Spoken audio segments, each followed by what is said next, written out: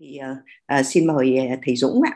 Dạ vâng, xin ờ, cảm ơn cô Hoàng Ánh, xin cảm ơn thầy Bình và chương trình Midnight Talk đã uh, mời tôi tham gia cái uh, buổi trò chuyện như này. Và cũng uh, xin uh, cảm ơn thầy thầy Tuấn đã có cái phần uh, trình bày uh, tổng quan và cái phần khơi gợi rất là hay rất là hấp dẫn và và có nhiều ý trong uh, cái phần nói của tôi thì nó cũng sẽ có trùng quan điểm với thầy Tuấn à, thì ờ, cũng ờ, thưa các thầy các cô các anh các chị ờ, là thế này. Thực ra là trong tôi là học có có thể coi là một cái lứa mặc dù không phải học trò trực tiếp của thầy Tuấn nhưng là người đi sau và cũng coi thầy Tuấn là một người thầy có cái định hướng nghiên cứu liên quan đến uh, thương mại và rất là là ngưỡng mộ thầy Tuấn. Do đó là năm 2014 thì mới quyết định đi học ở Anh và liên quan làm về thương mại Anh Việt Nam tức là quan hệ Anh Việt Nam và từ đó đến nay thì vẫn loay hoay và vẫn rất là tập trung sâu vào cái mối quan hệ giữa Anh Việt Nam và thế kỷ 17 mà thôi.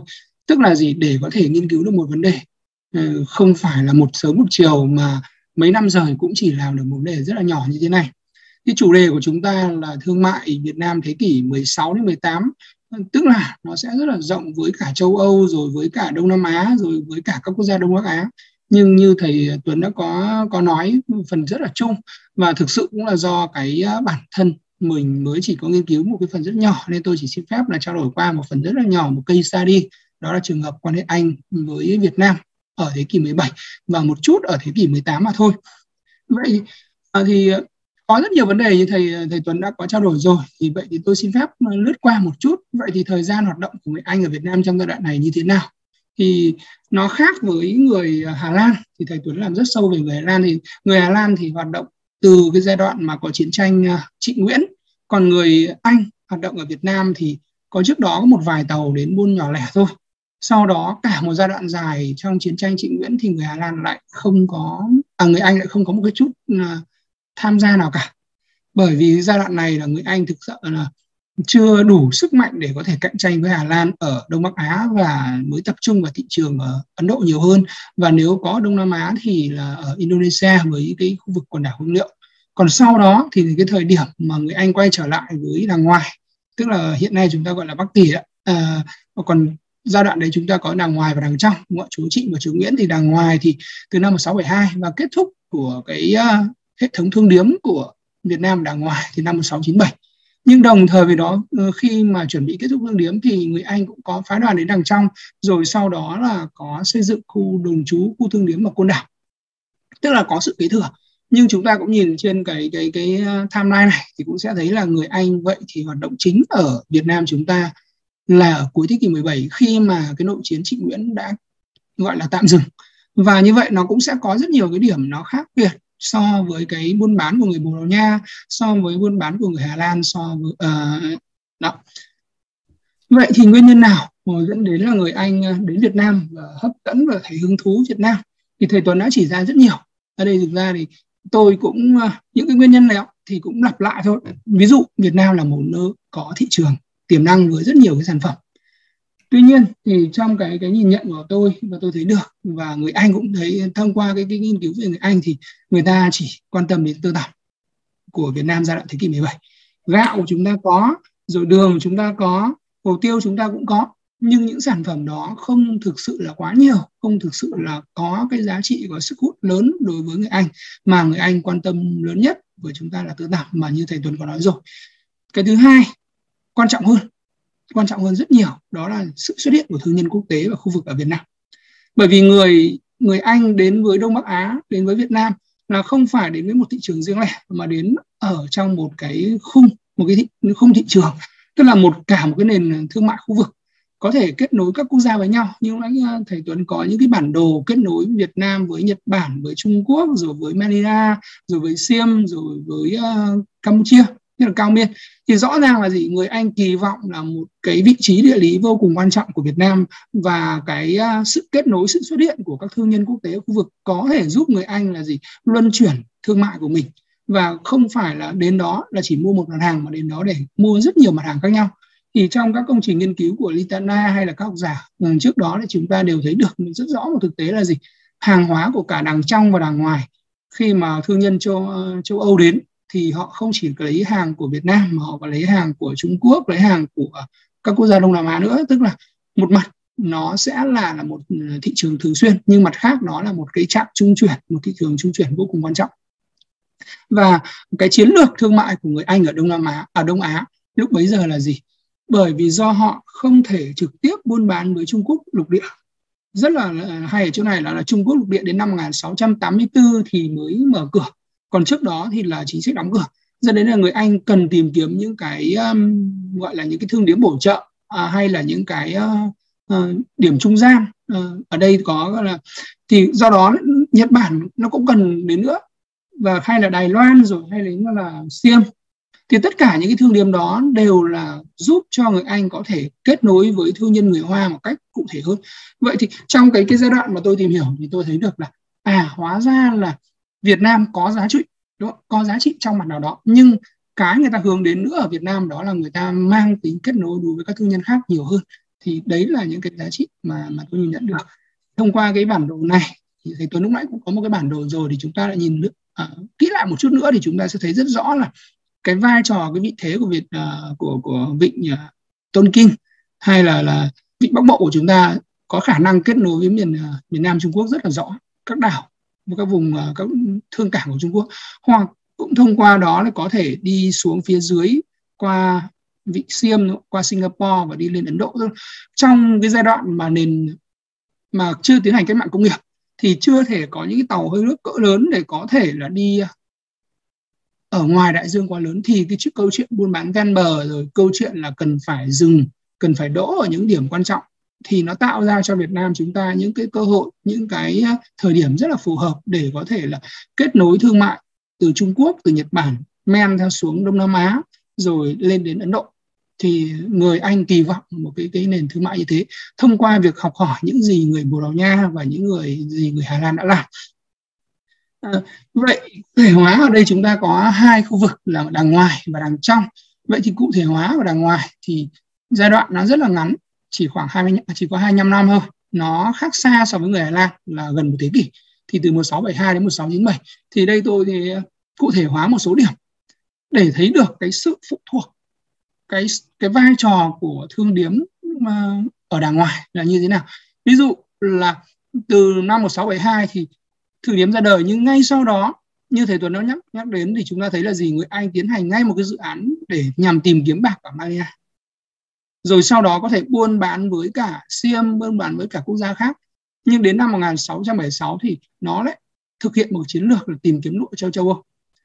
Và cái giai đoạn mà nổi bật nhất trong hoạt động thương mại của người Anh ở đàng ngoài thực chất nó chỉ rất là ngắn ngủi từ 1676 đến khoảng 1688 đó, đó là cái giai đoạn mà hoạt động người Anh khá là mạnh bởi vì lúc bấy giờ thương điếm Đài Loan đóng cửa bởi vì lúc bấy giờ nó mở rộng lụa cho châu Âu rồi uh, cũng tìm cách là buôn bán với các quốc gia khác.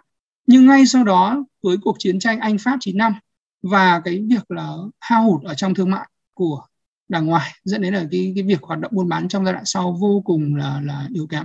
Thì đây chúng ta thấy là có cái giai đoạn buôn bán thường xuyên này 1676 1688 còn trước sau đó thì không có tàu buôn một cách rõ ràng từ châu Âu và đây cũng là có hai giai đoạn. Một giai đoạn đầu tiên 1672 đến 1683 là thương điếm thì được à, để ở phổ biến nhưng mà giai đoạn sau thì thương điếm đặt ở thăng long. Và các bạn à, chúng ta sẽ nhìn thấy rõ một cái giai đoạn nữa là từ năm 1684 1685 Trung Quốc mở cửa cho người châu Âu. Thì lập tức ngay sau đó là cái thương mại của người Anh đối với đàng ngoài cũng có những cái suy giảm nhất định. Vậy thì cụ thể nói như thế nào? À, ở đây Ờ, đặt ra một vấn đề là có rất nhiều cái cái nghiên cứu, cũng có rất nhiều cái quan điểm là đặt ra câu chuyện là liệu rằng có phải là người Việt chúng ta hạch sách quá rồi là người Anh đến buôn bán với chúng ta dựa trên một cái ừ, cái mà phải cầu cạnh rồi là phải bị ờ, lo lắng thế này thế kia. Thì ờ, cũng cũng có một phần là đúng, nhưng mà cũng có một phần mà như tôi trong quá trình nghiên cứu thì tôi nhìn nhận thấy là người Anh đến buôn bán không chỉ đem theo cái tư duy buôn bán họ còn đem theo văn hóa họ còn đem theo quan hệ ngoại giao họ còn đem theo những yếu tố xã hội khác. Và một trong những cái ngoại giao quan trọng nhất của cái giai đoạn um, sơ kỳ cận đại này hay là early modern à, uh, period này chính là cái uh, ngoại giao quà tặng. Đến đâu người Anh cũng tìm cách thích nghi với cái nền văn hóa bản địa. Họ thích nghi rất nhanh. Ví dụ đến Ấn Độ họ cũng uh, có tìm cách có thể đến Trung Quốc họ cũng tìm cách có dùng quà tặng có thể chiều cống. Rồi chúng ta hay dùng từ chiều cống đó. đến Việt Nam họ cũng tìm cách làm thân làm quen với vua với quan để có thể có được những cái ờ, lợi nhuận nhất định. Và đây là hình ảnh một cái bức thư mà ờ, người Anh đã gửi cho Chúa rồi gửi cho hoàng tử của của ừ, Chúa Trịnh và hoàng tử cả à, tức là thế tử để nhằm tạo ra một quan điểm một quan hệ đúng không ạ?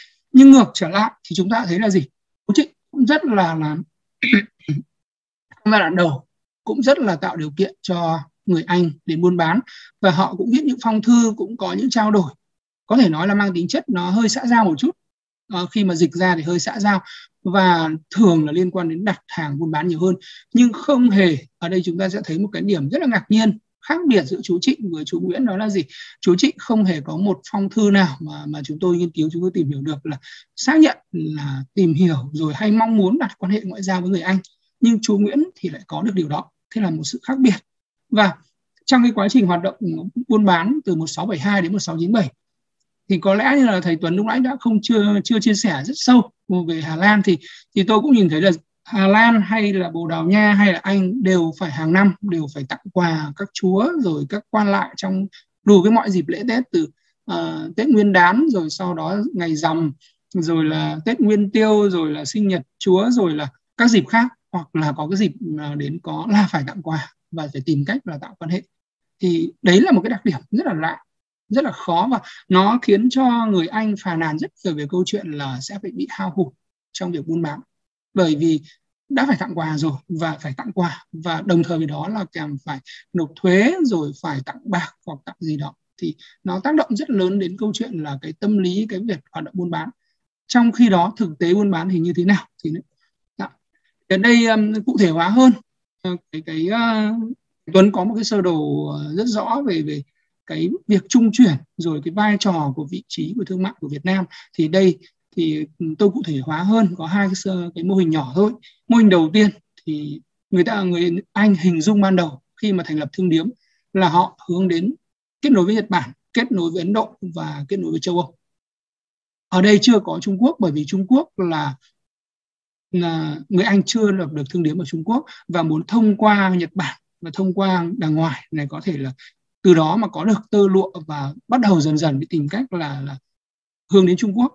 Nhưng sang đến ngay giai đoạn sau một chút khi mà có thương nhân đến và ông thương nhân là Gifford này là ông là giám đốc thương điếm ở ngoài đầu tiên thì ông đã nhìn thấy cái vai trò cái tiềm năng của thương mại của đàng ngoài và đã vẽ ra đã đề xướng có đề xuất một cái mô hình thương mại là nó kết nối không chỉ với Nhật Bản không chỉ với uh, châu Âu nữa mà còn với Malaysia, rồi với Macau rồi với Campuchia Bantam hay với Siem, tức là gì? Biến Việt Nam trở thành một những điểm một trong những điểm quan trọng trong cái nền thương mại nội Á hay là nền thương mại khu vực.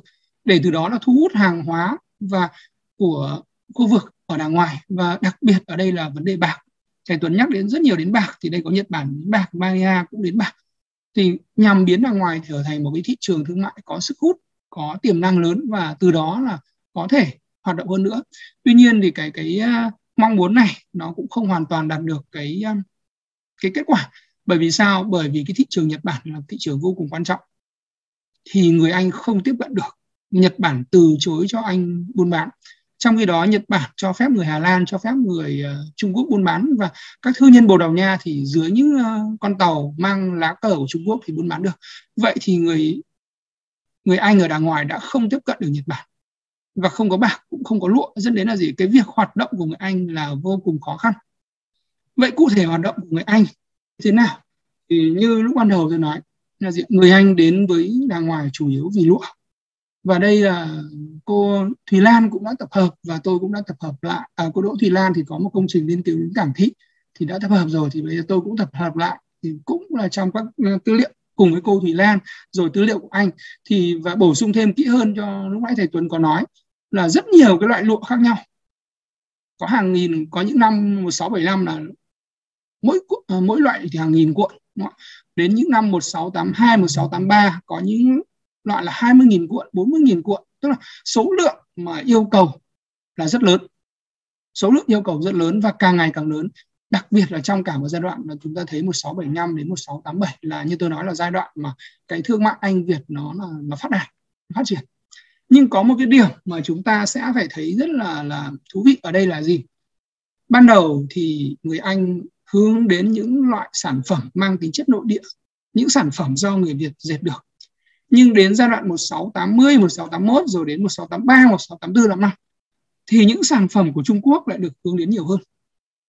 Đó, rất là thú vị ở chỗ là à, đến một khoảng 1680, 1681 khi mà thương điếm ở, ở Hạ Môn rồi là ở Đài Loan nó gặp rắc rối về đóng cửa thì người Anh đã nhận thấy là à những sản phẩm của Trung Quốc tốt hơn và họ hướng đến thị trường đàng ngoài là gì là nơi cung cấp hàng hóa là lụa của Trung Quốc hay là nhung hay là một số cái uh, sản phẩm của Trung Quốc để xuất sang châu Âu chứ lại không mua hàng của Việt Nam nữa?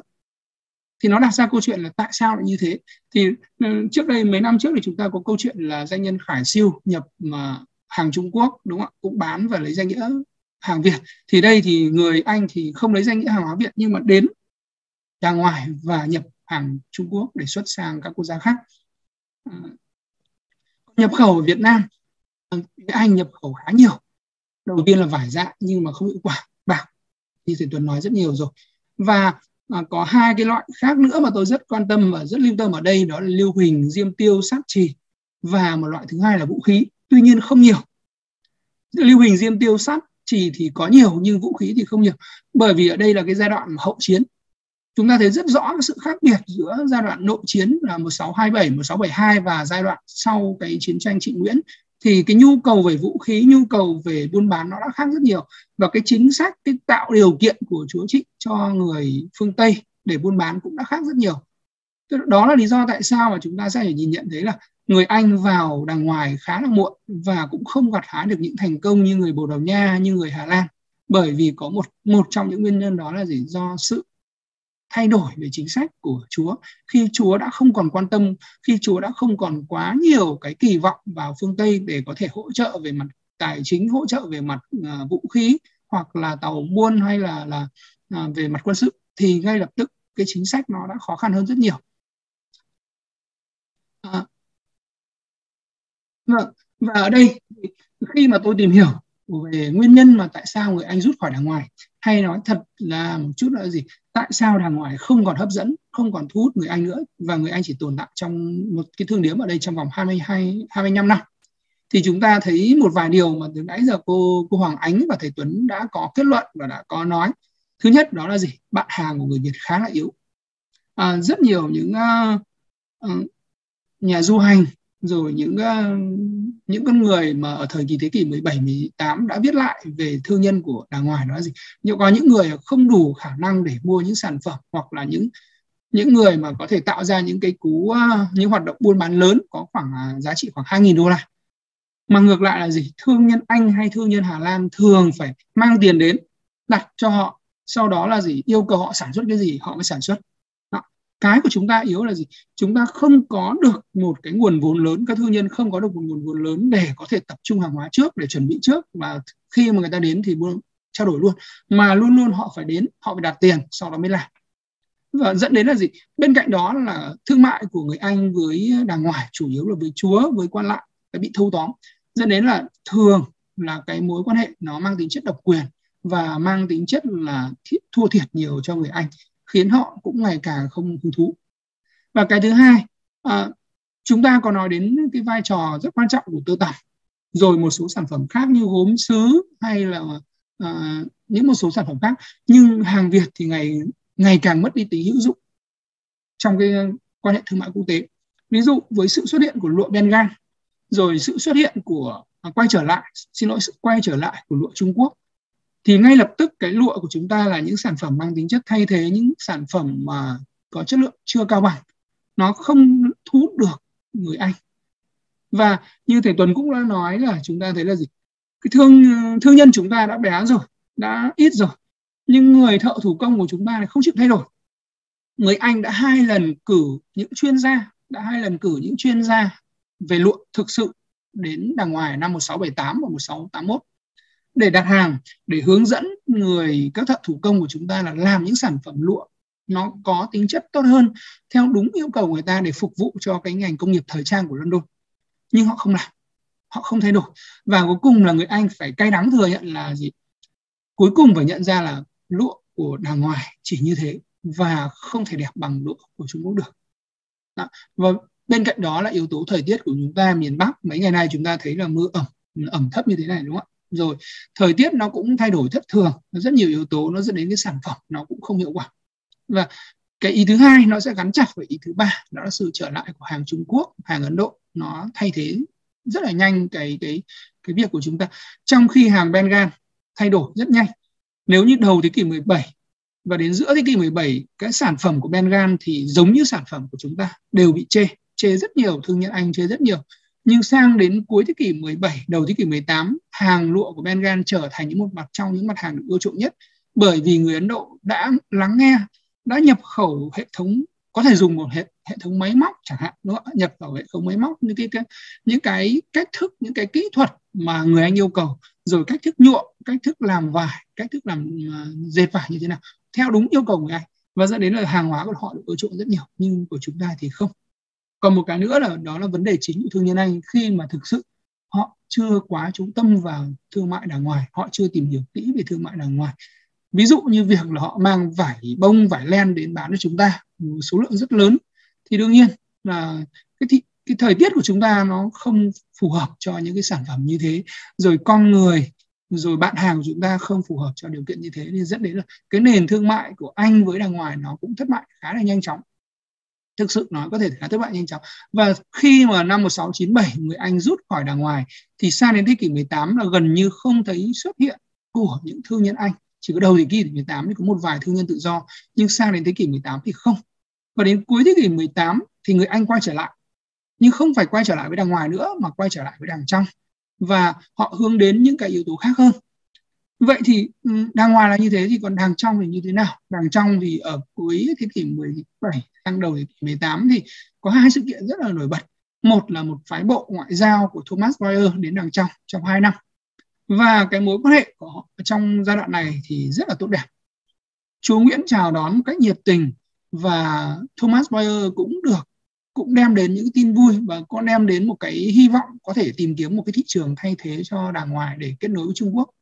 Tuy nhiên, cái mà người Anh cần lúc này nó dường như không còn là một cái vị trí trung gian kết nối với Trung Quốc nữa mà người Anh đã tìm kiếm một cái hướng khác. Và ở đây chính là cái cái vài năm sau người Anh đã xây dựng một cái thương điếm. Nhưng nó không đơn thuần là một thương điếm về thương mại để buôn bán nó là một khu đồn trú có xây dựng hệ thống quân sự hệ thống phòng thủ có quân đội ở đây. Và nó không khác gì ở đây còn dùng một từ là có có cả trại lính nữa nó không khác gì một cái thuộc địa nhỏ của người Anh ở Việt ở Việt Nam. Thì tại sao có chuyện đó? Thì khi mà chúng tôi tìm hiểu thì chúng tôi thấy là nếu như chúng ta lúc xem video ban đầu ấy, thì chúng ta nhìn nhận là à người Anh thế kỷ 18 phát triển mạnh rồi, cái công ty Đông Ấn là buôn bán, chuyển từ buôn bán chuyển sang một nhà, một hình dạng hình khác là một nửa mô hình nhà nước, một nửa là công ty, rồi là có quân đội, rồi bắt đầu đi xâm lược. Trong khi người Hà Lan thì làm từ trước đó rồi thì người Anh sang thế kỷ 18 cuối 17 đầu 18 rồi sau đó thì mới làm cái chuyện đó. Thì đây chính là cái giai đoạn mà rất là thú vị khi mà Việt Nam được chứng kiến cái sự chuyển đổi của người Anh từ một cái công ty chuyên chuyên về thương mại, chuyển sang một cái mô hình bán nhà nước, rồi một cái tổ chức mà tập trung vào việc là xâm lược để có thể thống trị. Thì cái việc, cái cái giai đoạn mà người Anh ở đằng ở đằng trong đằng ngoài thì là buôn bán, ở đằng trong thì nó đã có sự chuyển biến về mặt ngoại giao, về mặt chính trị, và nó bắt đầu có sự xâm lược và dẫn đến sang cuối thế kỷ 18 và sang đầu thế kỷ 19 chúng ta thấy có rất nhiều cái ờ, cái phái đoàn mang tính chất ngoại giao của người Anh đến ờ, Việt Nam vào 1778 1778 1793 rồi là 1804 rồi 1822 ờ, rồi 1858 tức là có rất nhiều cái cái chuyến đến của người Anh có giao lưu có trao đổi và thậm chí là trước khi mà người Pháp xâm lược người Anh cũng đến. Nhưng người Anh lại không hề quan tâm đến câu chuyện là à tôi sẽ xây dựng một thương điếm hay là một cái việc buôn bán với Việt Nam nữa. Mà lúc bấy giờ cái quan tâm của người Anh là vị trí địa chính trị của Việt Nam như thế nào. Trong tính kết nối có thể là từ đó để khống chế toàn bộ cái vùng biển Đông Nam Á khống chế cái con đường đến chuối Trung Quốc. Ừ, do đó là cái sự thay đổi về tư duy sự thay đổi về cách nhìn nhận nó cũng rất là là khác. Thì cũng đồng thời cũng giai đoạn đó là cái giai đoạn mà như tôi nói là đã có cách mạng công nghiệp. Cuối thế kỷ 18 đầu thế kỷ 19 có cách mạng công nghiệp. Và cái việc hệ thống tàu thuyền nó đã không nhất thiết là phải đi ven bờ nữa nó không cần đến cái những cái vị trí nhỏ lẻ nữa mà nó sẽ có thể đi trực tiếp từ Ấn Độ Dương và chạy sang đến ờ, phía, phía dưới Đông Nam Á và chạy thẳng lên vùng biển uh, Trung Hoa để kết nối với Trung Quốc với với Nhật Bản dẫn đến là do đó cái vai trò của Hồng Kông vai trò của Singapore nó nổi lên rất là mạnh.